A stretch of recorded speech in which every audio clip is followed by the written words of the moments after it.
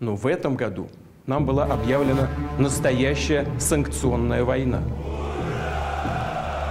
President Putin must realize that he cannot win uh, on the battlefield, but must accept a just and lasting peace. President Biden will announce today an additional $250 million security assistance package uh, for Ukraine.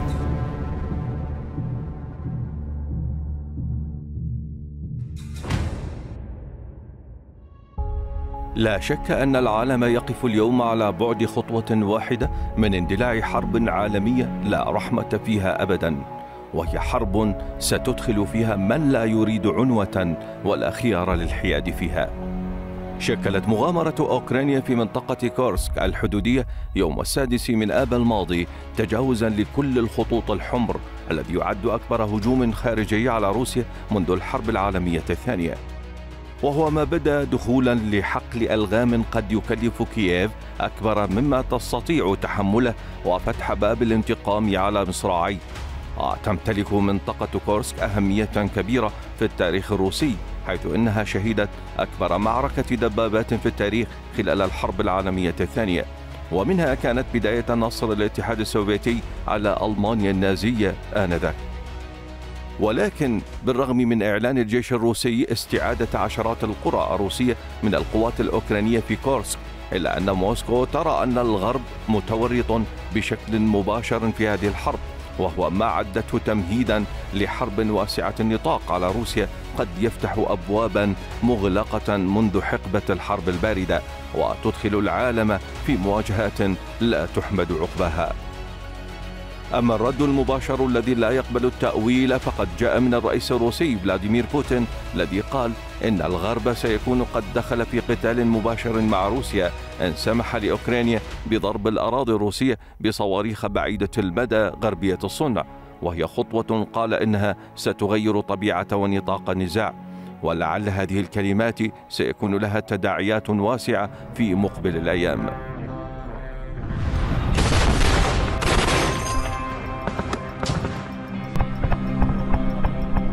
командование вас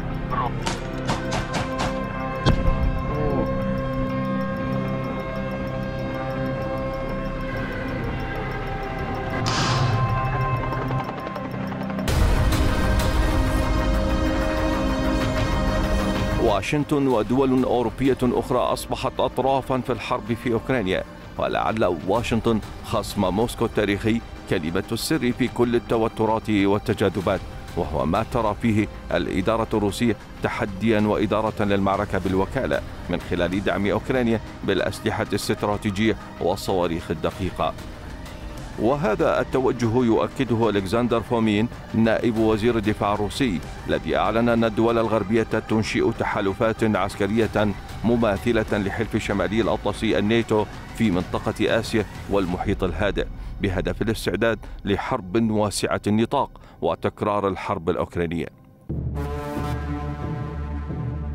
ويرى أن واشنطن اتخذت مسارا لا رجعة فيه نحو الانتقام والتخلي عن المبادئ السلمية وتعمل بنشاط على نسخة جديدة من عقيدتها النووية.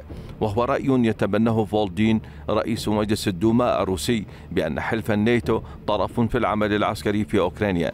واتهم الحلف بمساعدة أوكرانيا في اختيار المدن الروسية التي تستهدف والموافقة على تحركات عسكرية بعينها وإصدار أوامر لكييف. أما أوكرانيا المتأرجح مصيرها بين الدعم الغربي وشروطه وبين الضربات الروسية القاسية. باتت اليوم تستجدي داعميها الغربيين بالسماح لها بضرب أهداف في عمق الأراضي الروسية باستخدام صواريخ تلقتها منهم وهو ما ترفضه الولايات المتحدة حتى الآن. خشية تصعيد قد يؤدي إلى نزاع مباشر مع موسكو وفتح الباب أمام التهديد النووي. على ما يبدو أن الصراع الأوكراني الروسي بدأ بالاتساع فعلا وبدت اللهجة المتبادلة أكثر حدة. وكأن المتابع للأحداث ينظر عبر نافذة التاريخ إلى الحرب الباردة التي أرهقت العالم ذات زمان مضى وهي نظرة من خلال صراع أعداء الدهر. وكأن التاريخ عاد ليروي للأجيال الجديدة كيف بدا العالم في زمان سباق التسلح وحرب النجوم قبل نصف قرن من الزمان. ولكن لن تكون المواجهة المقبلة بالقدر نفسه فالزمان غير زمان بل أكثر وأكبر وأوسع نطاقا وهو ما قد يلقي بتبعات لا أحد يتمنى أن يكون طرفا فيها.